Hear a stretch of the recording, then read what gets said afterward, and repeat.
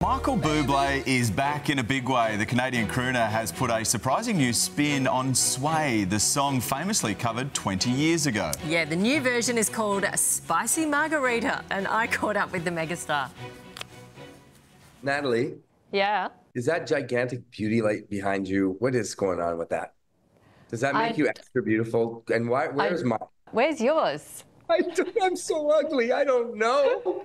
You I don't, don't have, have a beauty light. I have a laptop put on top of a, a piece of chunk furniture that I just put down so that it would be tall enough. But you're Michael Bublé. Don't you just get to have whatever you ask for? I am no Ed Sheeran. Let me tell you that. You're my spicy margarita, baby. A megastar in his own right, but with Spicy Margarita, we get two music icons for the price of one. Michael Bublé and Jason Derulo have teamed up for a fiery new track with a very familiar sound.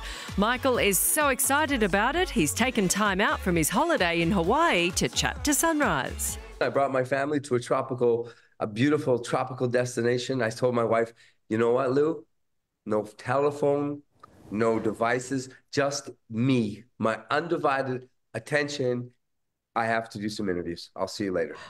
Wait, wait, wait, wait. You're on holidays. You've Mm-hmm. left your wife and kids for Sunrise.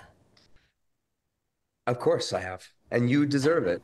And you know what, Sunrise has always been good to me. You're my spicy margarita, baby. The new song is going viral on TikTok with the longtime friends hamming it up for their combined 61 million followers. You spelled it wrong. Come on, Mike. We're idiots and we laugh our asses off doing all of this stuff. So it's been it's been way too much fun. I know what my lane is. I know that I'm an interpreter of the Great American Songbook. I know that I stand on the shoulders of so many of my heroes like Frank and Dean, and, uh, and I get it. I get that's where I live, and I love living there. But it's so much fun to take off and sort of swim in these other places. He was like the 54th big, big, big, gigantic star that had called me and said, I know what we should do. We should do a Christmas song. And I was like, no, I own that and I don't need to do that anymore.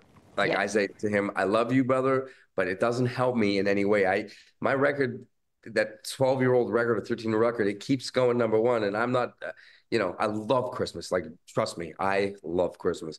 But I was like, dude, and then I got, I got like, I got grumpy with him. But what I didn't know is I had crushed Jason in that conversation.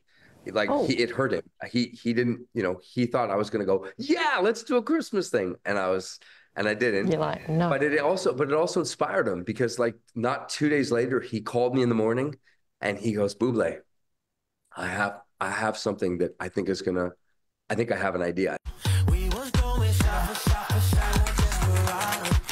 Into the bathroom. Of course. Damn it! You know, I'll show up in the morning and I'll bring you spicy margaritas. Thank you. I can't, I don't know what's gonna happen, but I, it'll be fun. He's always fun, isn't he? He's so cool. Yeah. Like Urban Dictionary, Rizz, picture of Michael Bublé. Oh, yeah. Don't you reckon? Yeah, absolutely. Love him.